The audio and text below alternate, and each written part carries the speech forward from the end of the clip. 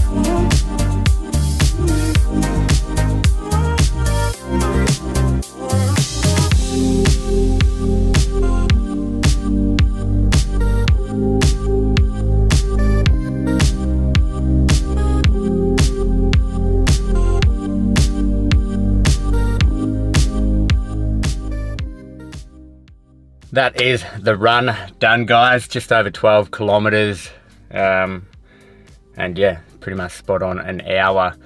Nearly ended up an absolute disaster. I lost my car key this one here.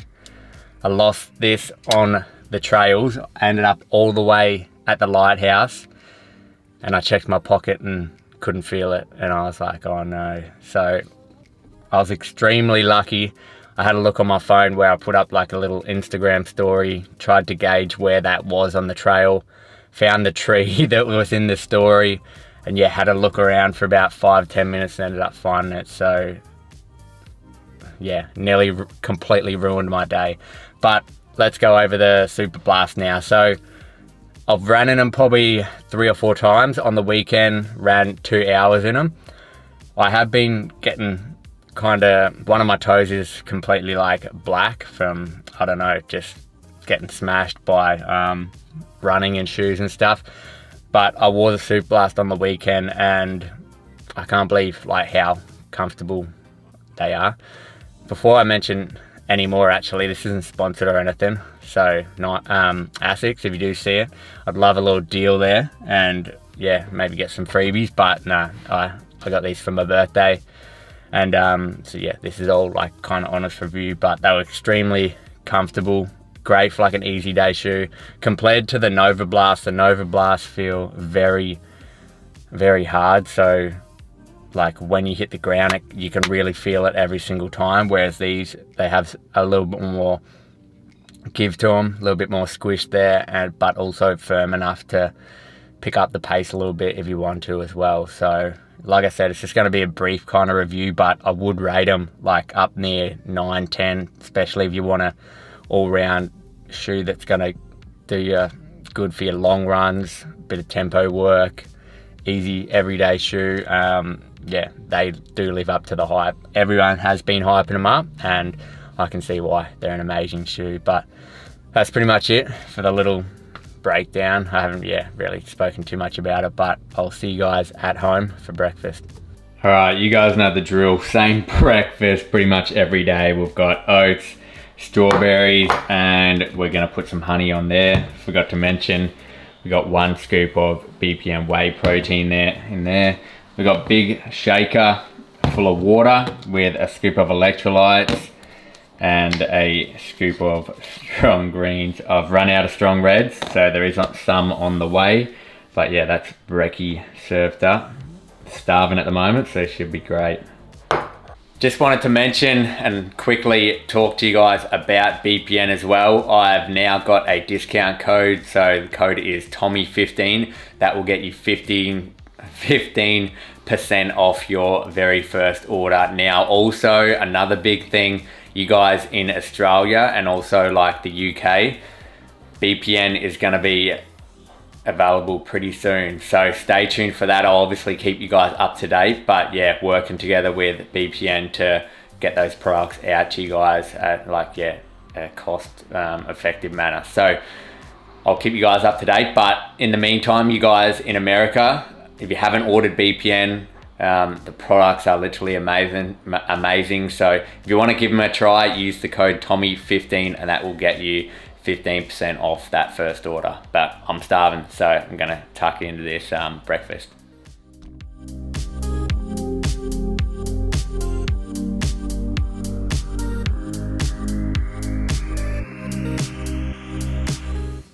We are about to head to gym, but we're having a little pre-workout snack. So we got one English muffin with some butter and Vegemite on there. So I've just been loving the taste of these, haven't had them in that long.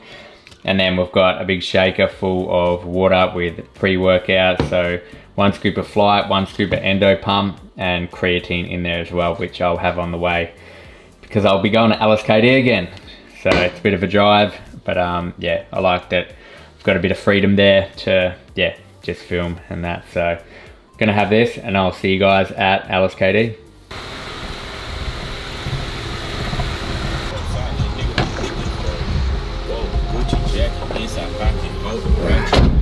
Alright guys, we have arrived. So I'll see you inside. Big chest and triceps workout going down. Alright guys, thought I would continue doing the voiceovers. They seem to be getting a good response, so let's do it. Starting off, a few kind of rotor cuff exercise, just warming up the delt, and then same as last week, just some light lateral raises. We are training chest, so wanting to get those shoulders really warmed up before jumping into any heavy kind of movement. So um, today I was doing um, exercises and a workout off my app. So you can see up the top left there, I'm going to put everything in there. Um, but yeah, that's off the Tommy Fit app. So we started off with bench press. Now, if you, if you did see there, it did have set amount of reps. And that was pretty much just a goal for me. I'm pretty weak, to be honest, at the moment. I can push out 80 kilos okay, but as we kind of move through this, yeah, I'm really feeling like the back end of this marathon prep is getting to me. Um, and obviously, I don't want to stack on a heap of weight as it is anyway, because then that's obviously going to negative be negative for my running. So not stressing too much about how much I can lift at the moment. It is what it is, but pretty much moved our way up to 100 kilos and then I think the first set I got six reps out and then the set after that I'm pretty sure I only got four out so the strength is kind of like there but I just run out of energy really quickly or I just like the as the sets go on I just don't have the yeah the energy left in the tank but that's okay. That's all good. We still got like still getting a really good pump and energy levels are still really good. It, the main thing's just that strength at the moment. So that's all right. Finished up on the bench press and then jumped into some incline press. Now, if you guys watch some of my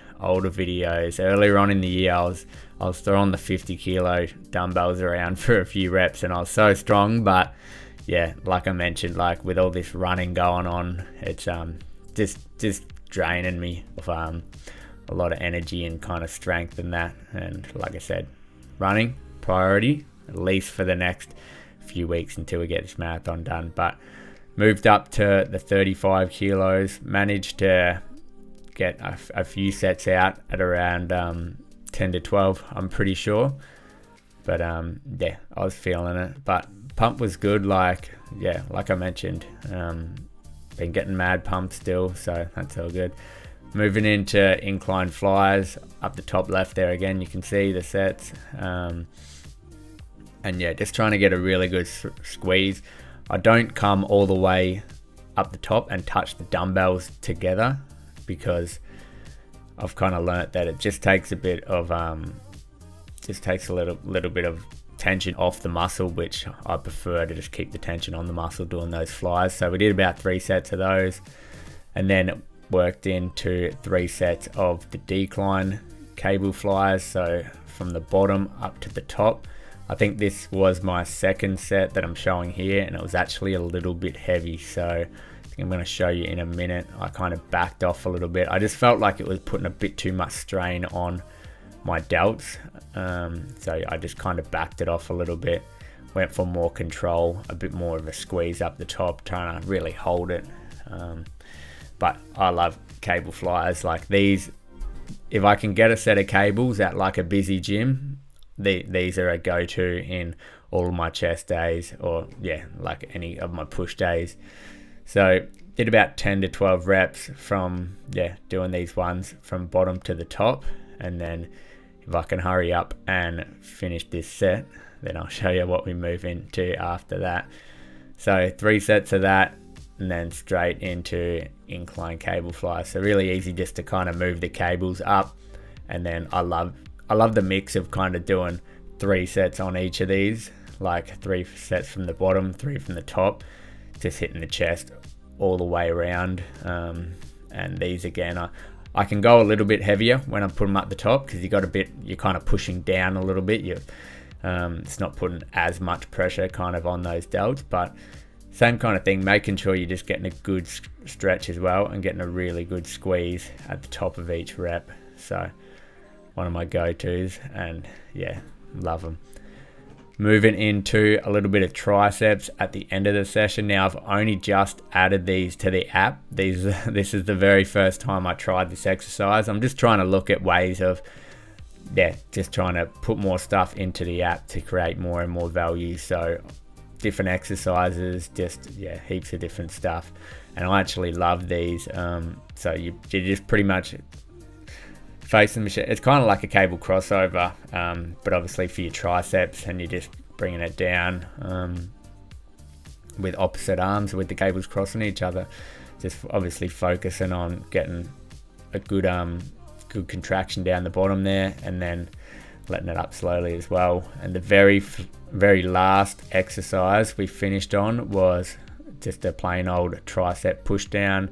Got a few different variations of these on the app, but this that today just wanted to go the straight bar. Feel like you can really load it up with the straight bar with a fair bit of weight.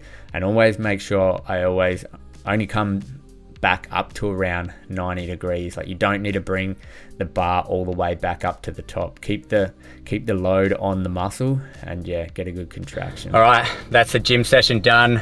That was actually a really good session. Nice and warm up there now. It's only like the first week of spring and it's already getting so much warmer, which is good. I, I like summer. I like training like weights when it's really hot. Don't necessarily like running when it's really warm. But um, yeah, that was a good session. Gonna head home, have a meal, so I'll see you guys there.